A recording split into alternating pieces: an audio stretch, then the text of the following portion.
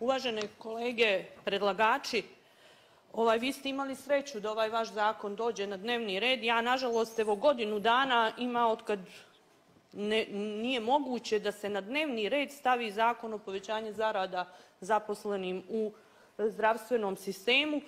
Dakle, tu me najviše boli licemjerstvo posebno ljekara iz DPS-a koji se kriju iza kukavičkog stava uzdržanog i svih ostalih, ali naglašavam ljekara, zbog toga zašto se bježi od toga da se razgovara o tome.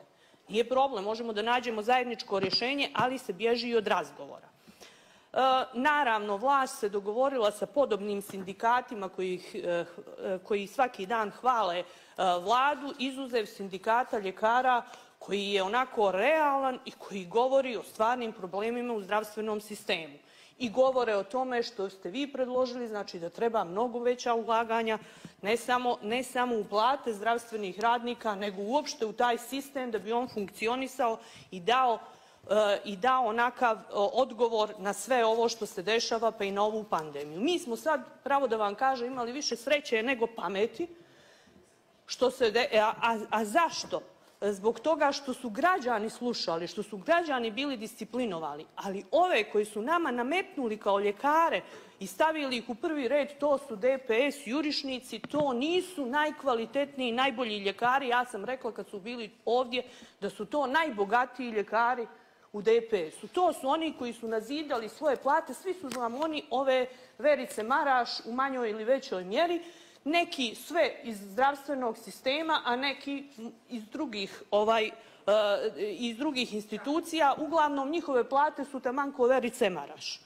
I ono što hoću da kažem, korona je na neki način razotkrila tu jednu površnost, jednu neznavenost, a usudit ću se reći i pokvarenost ovog režima, jer oni zloupotrebljavaju ovu situaciju zarad političke kampanje, što je potpuno degutantno.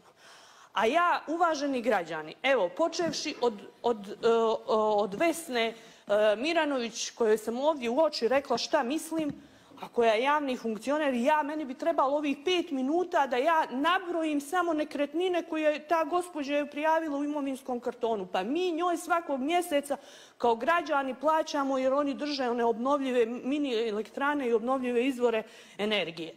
Znači, to je ta. Onda imamo, koga imamo? Imamo e, ovoga gospodina e, Mugošu koji nam se svaki dan predstavlja, ja ih zovem estradni ljekari, estradni jer su oni sve u prvi plan, a u stvari nikad nisu ni obukli ono odijelo za koje treba protiv, kao zaštitno za koronavirus. Taj Mugoša je u konfliktu interesa. Sve su oni funkcioneri. Izvolite. E, Crna Gora se na kvalitetan način suočila sa epidemijom COVID-19. Crna Gora se, za to su zaslužni i građani, i zdravstveni radnici i molim vas nemojte tako pričati. Vi ste saopštili taj vaš stav, vodite računa o tome da su to ljudi koji su uvažili parlament i došli da saopštavaju svoj stav i vodite računa da govorimo o temi. O temi. Izvolite. Predsjedniče, predsjedniče Skupštine, oni su prvo javni funkcioneri kao i ja i mogu da se, mogli su i ovdje da se javi. Ovo, će, ovo mi nećete uzeti od vremena, a vi se javite za komentar, pa komentarišete, pa ćemo da mi raspravimo u našim komentarima. Nemojte da me prekidate. Počeli ste kao uh, potpredsjednik Gvozdenović koji mi nije dao na prošlu diskusiju jedno četiri puta me prekinuo da sam ja odustala i da pričam. Ja ne znam otkud ta taktika kad god se javim. Ja neću Proceduralno je bilo, sad nastavite sa e, diskusijom.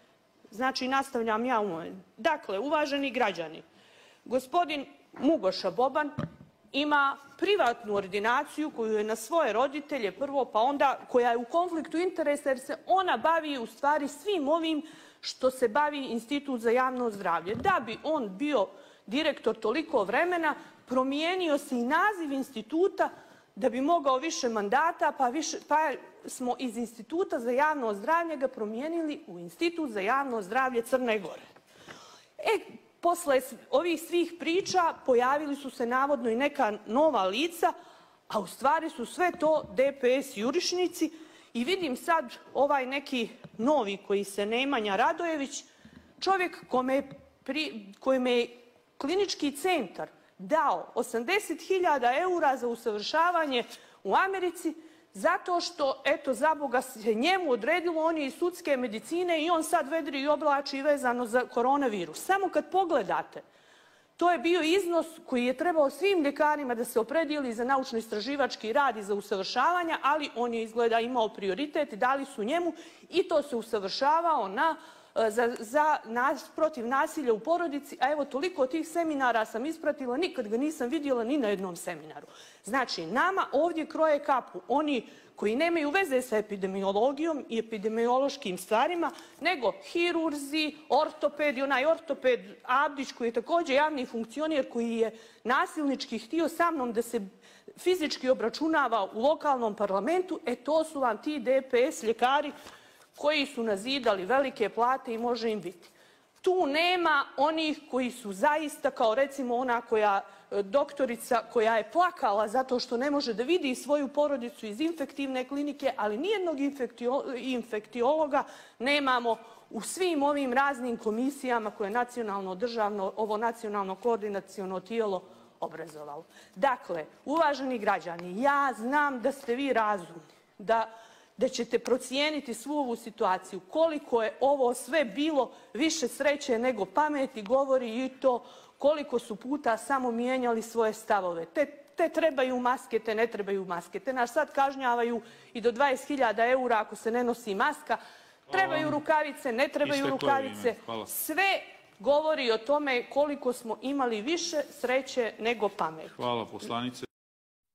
E, hvala predsjedniče. Dakle, zaista ovaj, kratko, ovaj, samo komentar na, dvije stvari. E, znate, kad, ste dobro organizovani, kad znate što ćete da radite, onda u svakom poslu, pa i u e, medicini, treba da imate sreću. I to nije, i to nije sporno.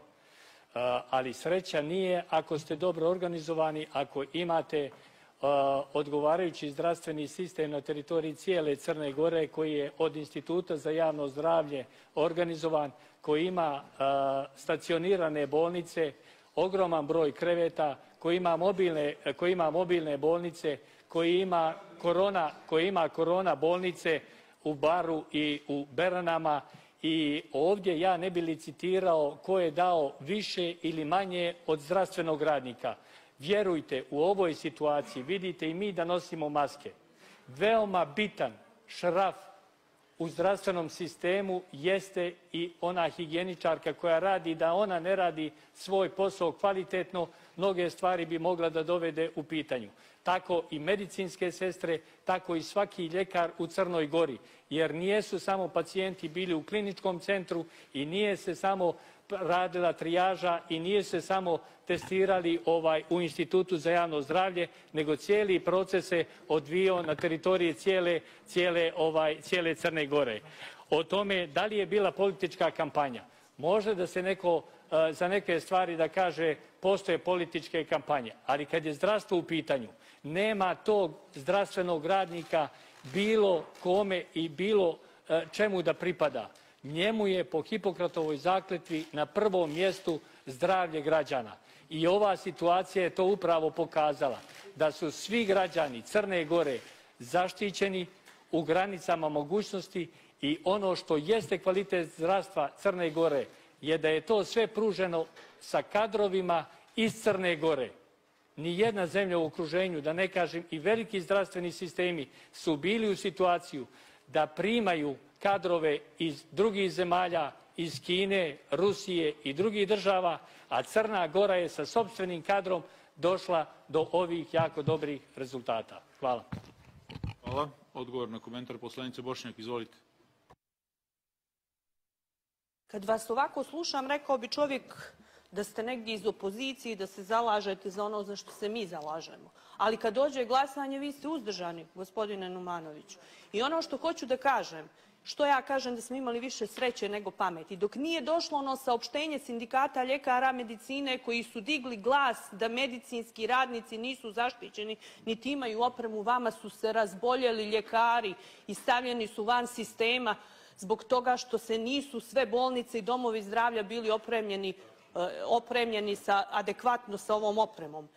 I znate to dobro, pa, pa se onda na onim konferencijama za novinare gdje su ovi partijski podobni ljekari Oni su demanto govorili nije niko zaražen unutar sistema, radeći u sistemu, što je demantovao i zaraženi iz bara. Znači sve je bila da kažem, lažna predstava, neće da kažu pravu istinu. Pravu istinu znaju oni koji rade tamo i koji nas kontaktiraju jer znaju šta se dešava unutar sistema. A ovi manekeni što se pokazuju na pres konferencijama, to je druga stvar. Oni će pričati hvalospjeve jer to je način ove podmukle kampanje DPS-a da za Boga veliko povjerenje se stekli. Kakav je to odnos? Zašto niko nije kontaktirao profesora Novicu Vujoševića koji se sam ponudio, napisao pismo premijeru i on je, on je neko ko je osnovao sve ovo i koji, koji je temelje u Institutu za javno zdravlje postavio i što se tiče epidemiologije i koji ima veliko iskustvo. Nikoga nije kontaktirao zato što nije, vjerovatno, pretpostavljam, nije DPS jurišnik. Ili zašto neko ne kontaktira Dragana Lauševića koji je i na katedri za, na medicinskom fakultetu i koji, koji, od koga su mnogi ovi učili. Nikoga nije kontaktirao. Ne, mislim, ili su ga potpuno marginalizovali. Pojavljuju nam se sad ovi novi manekeni, ošišani, sređeni, iako frizerski saloni nisu radili. Pa vi mislite da, da je narod glup, da ne vidi o čemu se radi? Pa sve nam je jasno. Nisu to oni koji su najstručniji, niti oni, to su vaši partijski to je politbiro DPS-a koji nam nudi razno razna rješenja i predstavlja se da za Boga ispane da su oni ti koji su ovo iznijeli. Nisu oni iznijeli, iznijeli su od te higijeničarke koju vi pominjete do ovih ljekara koji im se ne vide, kojih nema u javnosti, a koji su sav teret stavili na svoja leđa i koji spavaju po hotelima i ne vide svoju porodicu već mjesecima.